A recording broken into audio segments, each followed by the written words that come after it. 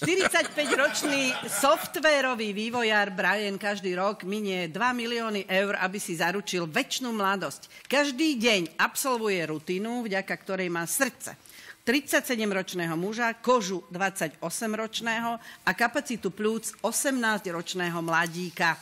Pod dohľadom týmu lekárov dodržiava prísnu vegánsku dietu. Každé ráno vstáva o 5. ide cvičiť a popri tom popíja zelenú šťavu obohatenú o kreatín a kolagénové peptidy. Počas spánku je pripojený k stroju, ktorý počítá počet nočných erekcií. Denne si kontroluje index telesnej hmotnosti, tuk, glukózu a zmeny srdcového tepu.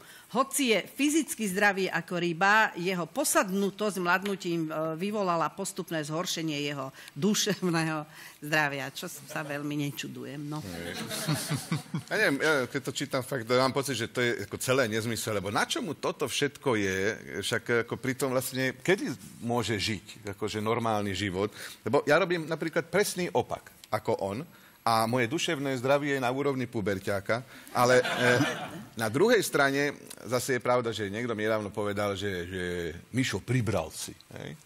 A, a akože, čo, je, čo je ho vôbec do toho? A e, e, možno som len zmenil antikoncepciu, ale, e, ale, ale aj tak, aj ten istý mi poradil, že mal by som držať nejakú takú, že písmenkovú dietu, že, akože, že vyberiem písmenko a to, aké tam je, tak e, to jedlo ktorý sa začína na to písmeno, môžem, tak som si vybral S, ako serem na to, ale, ale potom mi povedali, že mám, mal, by som dr, mal by som držať, e, e, že mal by som, že denne zjesť iba 1500 kalórií, kalórií, tak hovorím, dobre, a čo v noci? A, a, a potom ešte posledná rada mi povedali, že mal by som teda bežať každý deň 5 kilometrov. No ale ak ja som bežal len, že po dvoch týždňoch som bol 70 kilometrov od domu a len doma vezme domov.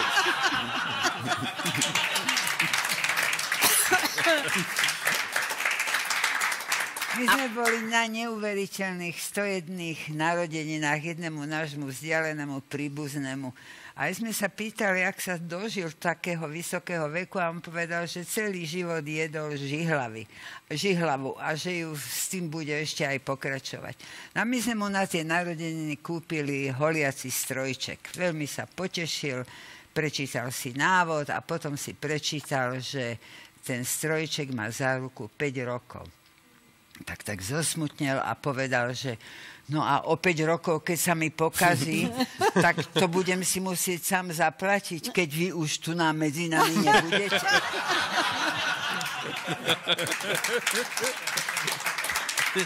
Ja by som len nadviazal, ja som videl takto rozhovor s jedným 116-ročným mužom, sa ho pýtali, že prosím vás, čo je to vaše tajomstvo, že tak dlho žijete?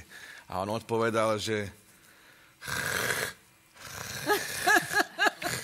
Áno, no, no, lebo to je o tom, čo som akurát chcela povedať, že na čo je taký život? Na čo ja sa dožijem 101 rokov, keď toto všetko musím dodržať? A keď by som žila, nie? No, to je, čo keď som by som mohla no? šeli čo iné. Nie? To, to je Napríklad. príšerné. Ja musím- Napríklad, no to, čo napríklad, na čo furt ty Musím myslíš. furt...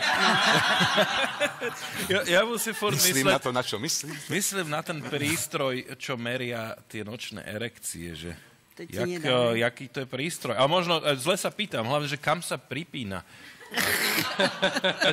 Ale možno to funguje aj bez elektriky, ktorá viem si, že to funguje aj bez elektriky, že je taká tá vytvarnická, eh, ten uhlík vytvarnický, on si obleče biele pyžamo, toto si prilepí na ústrojenstvo a vlastne jak eh, silná tá čierna čiara na tom pyžame je, tak podľa toho mal ten počet...